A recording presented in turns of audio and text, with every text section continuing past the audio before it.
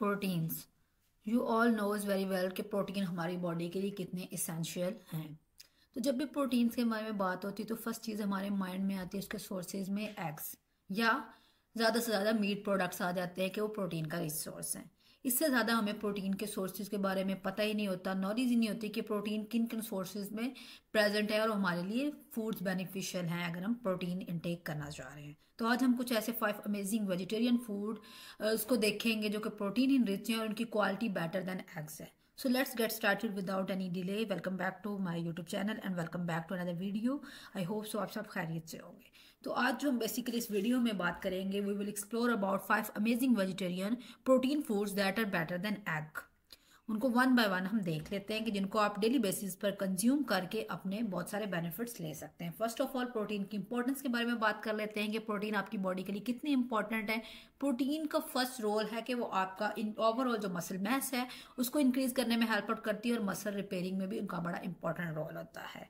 और जब आप प्रोटीन का इंटेक डेली बेसिस पर करते हैं तो वो ऑटोमेटिकली आपके मेटाबॉलिज्म को शूट आपके मेटाबॉलिज्म को बूस्ट करती हैं, जिसकी वजह से आपकी फैट बर्निंग बहुत ईजी होती है और आपका वेट लॉस में भी ये हेल्प आउट करती हैं। और प्रोटीन्स को एक फीलिंग मैक्रोन्यूट्रेंट भी कंसीडर किया जाता है और माना जाता है कि एक फीलिंग मैक्रोन्यूट्रेंट है जिसके रिज़ल्ट में आपकी जो ओवरऑल क्रेविंग्स हैं, उसको भी रिड्यूस करने में प्रोटीन का ही इंपॉर्टेंट रोल होता है। और आपको फीलिंग ऑफ़ फुलनेस रहती है तो इस तरह से भी इसका एक रोल डायरेक्ट वेट के साथ आ जाता है वेट की मैनेजमेंट में आ जाता है। एडिशनल रोल्स अगर देखें तो आपका जो प्रोटीन्स हैं अर्थराइटिस की प्रिवेंशन में इंपॉर्टेंट रोल प्ले करती है। आपकी ओवरऑल स्किन हेयर्स या नेल्स की जो ग्रोथ है, उसमें प्रोटीन्स का बड़ा इंपॉर्टेंट रोल होता है।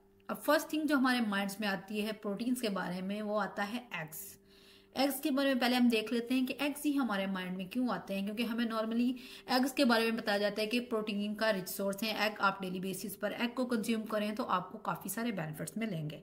तो एग जो एक नॉर्मली प्रोवाइड करता है, हमें six gram of protein one egg provide करता है। लेकिन आजकल जो एग्स के साथ प्रॉब्लम है कि जो कमर्शियल एग्स प्रोड्यूस हो रहे हैं, उनमें जो हैंड्स हैं, उनका एक तो फ़ीड अच्छी क्वालिटी की नहीं दी जा रही होती सेकेंड उनमें एंटीबायोटिक्स का बड़ा यूज़ होता है, जिसकी वजह से ओवरऑल जो क्वालिटी ऑफ़ एग है, वो बहुत डिस्टर्ब हो जाती है जो कि आपकी हेल्थ के लिए अच्छी नहीं है। अगर हम इस लिस्ट में देखें फाइव वेजिटेरियन प्रोटीन फूड्स को फ़र्स्ट चीज़ पे हमारे पास उड़द दाल आ जाती है। हम ओवरऑल लिंटल्स फैमिली को देख लेते हैं वन बाय वन के इनमें प्रोटीन का कॉन्टेंट कितना है और ये आपको कौन से बेनिफिट्स प्रोवाइड कर सकती हैं। अब उड़द दाल जो एक कटोरी नॉर्मली आपको 15 ग्राम ऑफ़ प्रोटीन प्रोवाइड करेगी। अब 15 ग्राम प्रोटीन आप देखें कि almost more than two egg से है। मतलब इतना एक अंडा आपको प्रोटीन प्रोवाइड कर रहा है, उससे भी दो गुना ज़्यादा ये आपको प्रोटीन प्रोवाइड कर रही है।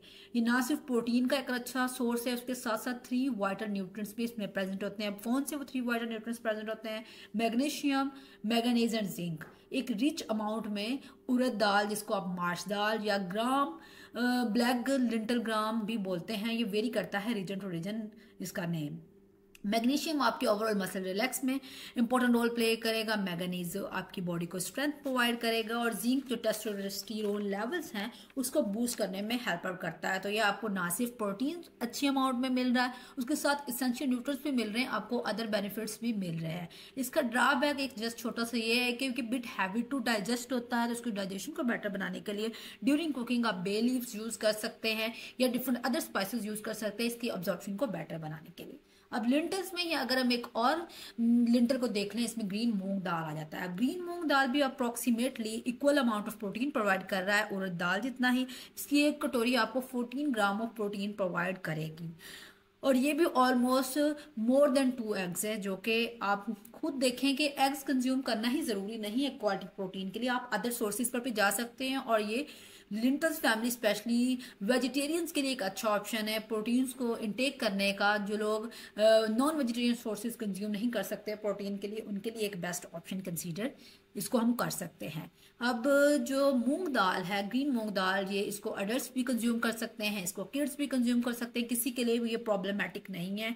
और स्टडीज़ भी डिफरेंट है, इस पर हुई हैं, वो डिफरेंट सजेशंस प्रोवाइड करती हैं इसकी कंजप्शन के रिगार्डिंग फ़र्स्ट ऑफ़ ऑल तो अगर आप डेली बेसिस पर इसको कंज्यूम करते हैं तो आप किस तरह कंज्यूम कर सकते हैं? आप इसको चीलास फॉर्म में कंज्यूम कर सकते हैं, जो कि एक स्पेशल इंडियन रेसिपी इसको आप डिफरेंट हलवाज फॉर्म में यूज़ कर सकते हैं। नॉर्मली ऐसे इसको रेसिपी बना के कंज्यूम कर सकते हैं डिफरेंट सैलड्स में और डिफरेंट अदर प्रोडक्ट्स में आप इसको यूज़ कर सकते हैं। और जो इसमें क्वालिटी ऑफ़ प्रोटीन होती है, वो सुपीरियर होती है than other food products high quality food है हाई प्रोटीन फ़ूड है और डिफरेंट स्टडीज़ भी इस पर हुई हैं जो इसकी हाई क्वालिटी को अश्योर करती हैं। और आप डेली बेसिस पर अगर ब्लैक उड़द दाल और ग्रीन मूंग दाल टू चपाती के साथ कंज्यूम करते हैं, अगर अप्रॉक्सीमेटली हंड्रेड ग्राम तो वो आपको ट्वेंटी ग्राम तक प्रोटीन प्रोवाइड करेगा, जो कि मोर देन थ्री एग्स है ऑलमोस्ट और स्टडीज़ जो सजेस्ट करेंगे, अगर आप डेली बेसिस पर इसको इनटेक करते हैं तो जो आपका ओवरऑल रिस्क ऑफ़ डायबिटीज़ है, वो रिड्यूस हो जाता है. सो ट्राई टू चूज़ और try to add in your diets अब थर्ड इंपॉर्टेंट अगर हम इसमें देखें लिंटस फैमिली में तो कुछ अदर लिंटस भी हैं, जैसे कि चिक पीस आ जाते हैं, आपके पास मसर है अदर मूंग दाल है, लोबिया है। आप उन सारी चीज़ों को, चने की दाल है, उन सबको यूज़ कर सकते हैं। उन सब में भी क्वालिटी ऑफ़ प्रोटीन बहुत अच्छी होती है और इसेंशियल न्यूट्रिएंट्स भी प्रेजेंट होते हैं फुल पैक्ड ऑफ़ ये आपके पास न्यूट्रिएंट इससे आप बहुत सारे बेनिफिट्स ले सकते हैं। Second thing in this list of no vegetarian food protein sources is roasted beans जिसको आप भुना चना या रोस्टेड uh, बीन्स भी बोलते हैं रोस्टेड चना भी बोलते हैं। नेम अगेन वेरी करता है region to region country to country और उसके 100 ग्राम जो आपको approximately 22 gram of protein provide करेंगे। जो कि एक बहुत रिच सोर्स आप खुद देख लें कि एक रिचेस्ट सोर्स है और इसका प्लस पॉइंट है वो ये है कि ये एंटी न्यूट्रेंट फ्री है। अब इसको रोस्टिंग किया गया है रोस्टिंग की वजह से ये एंटी न्यूट्रेंट फ्री है। इसमें कोई ऐसे एंटी न्यूट्रेंट प्रेजेंट नहीं है जो आपकी प्रोटीन की अब्जॉर्प्शन को हिंडर कर सकते हैं। और जो डिफरेंट स्टडीज़ इस पर हुई हैं, वो भी ये रिकोगनाइज करते हैं कि जो इसकी क्वालिटी ओवरऑल है, वो सुपीरियर है देन अदर प्लांट्स और इसको आप कंज्यूम करें, इसके मैक्सिमम बेनिफिट लेने के लिए और मैक्सिमम फाइबर कंजप्शन भी इसके साथ बहुत लिंक्ड है कि एक फाइबर का भी रिच सोर्स है। और फाइबर आप जानते हैं कि ओवरऑल आपकी हेल्थ के लिए कितना अच्छा है। फाइबर का अगर हम लिंक देखें तो आपको फाइबर को लेने के लिए इसको विद स्किन कंज्यूम करने की ज़रूरत पड़ेगी। विद स्किन जो आपको approximately 18 gram of fibre provide करेगा और without skin just two gram so preferable source है कि आप इसको विद स्किन कंज्यूम करें। और डिफरेंट आजकल वे प्रोटीन्स भी मार्केट में अवेलेबल है। उसके साथ हम कंपेयर करें तो इसका जो पाउडर फॉर्म होती है, इसको हम बेसिकली चना सत्तू भी बोलते हैं। तो उसका एक स्कूप आपको प्रोटीन कम प्रोवाइड कर रहा है एज कंपेयर टू वे लेकिन डिफरेंस ये है कि इसकी क्वालिटी अच्छी है और ये प्रोटीन प्रोवाइड करने के साथ साथ आपको अदर एसेंशियल न्यूट्रंस भी दे रहा है जो कि वे प्रोटीन में प्रेजेंट नहीं है, जो मार्केट में अवेलेबल होती है। इसमें आयरन कैल्शियम मैग्नीशियम और फोलेट एक अच्छी क्वांटिटी में प्रेजेंट होते हैं, जो कि आपको एडिशनल हेल्थ बेनिफिट्स भी दे सकते हैं। इसको कंज्यूम करने का सेम वे कि आप सचीला, आप किसको different other drinks parathas different चीज़ों में आप इसको यूज़ कर सकते हैं।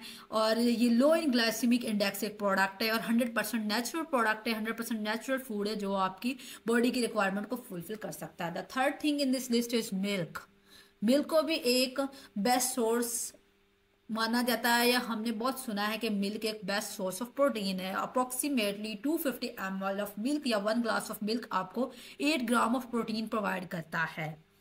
और जस्ट इसकी क्वालिटी ही अच्छी नहीं मिल्क एक वर्सटाइल फ़ूड भी है, ये रिच इन विटामिन डी होता है बी ट्वेल्व होता है ओमेगा थ्री और कैल्शियम विटामिन डी आपके लीन मैस को ओवरऑल इंक्रीज करेगा बोन हेल्थ के लिए बहुत अच्छा है विटामिन बी ट्वेल्व जो है मेटाबोलाइज प्रोटीन को ज़्यादा इजीली करने में हेल्प आउट करता है, और ओमेगा थ्री आपकी सिंथेसिस ऑफ़ प्रोटीन में और कैल्शियम ओवरऑल रिड्यूस करता है बॉडी फैट में. तो ये सारे जो न्यूट्रिएंट्स इसमें प्रेजेंट है, उनको प्रोटीन इनेबलर्स ही बोला जाता है कि जो कि प्रोटीन के डाइजेशन और ऑब्जॉर्प्शन में रोल प्ले करते हैं.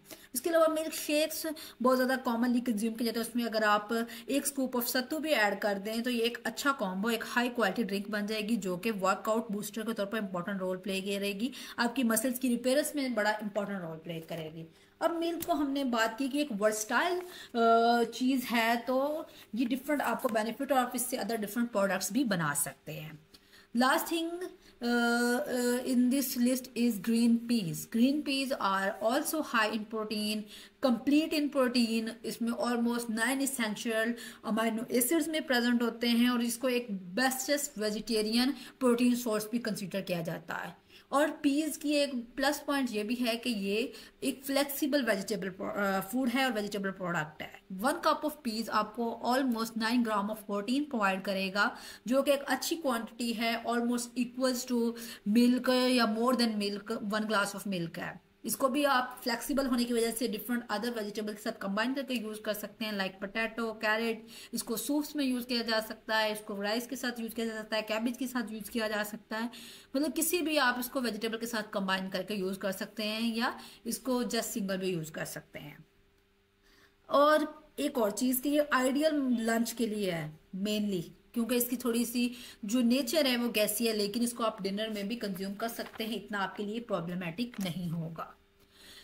Last product last food in this list is peanut peanut अगर हम इसको अदर न्यूट्रन के साथ कंपेयर करें अदर नट्स के साथ कंपेयर करें तो इसमें क्वालिटी ऑफ़ प्रोटीन ज़्यादा बेटर है। हाई क्वालिटी प्रोटीन्स आपको पीनट प्रोवाइड करते हैं। अगर हम इसको फॉर एग्जांपल कंपेयर करते हैं ऑलमट्स वॉलनट्स या कैशियस के साथ तो peanuts have a high quality of protein as compared to these all nuts और नट्स को मोस्टली हैंडफुल में रिकमेंड किया जाता है तो one full handful of nuts है वन हैंडफुल ऑफ़ पीनट है, आपको approximately seven gram of protein provide करेगी, जो कि एक रिच सोर्स है, आप, और एक हाई क्वालिटी प्रोटीन आपको मिलेगी। अगर इसके बेनिफिट्स की बात करें तो अगर हम पीनट को ऐसे यूज़ करते हैं तो ये आपके डायबिटीज़ को ब्लड शुगर लेवल को लोअर करने में हेल्प आउट करती है ओवरऑल हर्ट हेल्थ को इम्प्रूव करने में हेल्प आउट करती है। अगर इसको हम पीनट के पाउडर फॉर्म में कंज्यूम करते हैं तो ये आपकी मसल बिल्डिंग मसल स्ट्रेंथ और फैट्स को रिड्यूस करने में भी हेल्प आउट कर सकती है। इसको आप कंज्यूम एज अ स्नैक कर सकते हैं पीनट बटर की फॉर्म में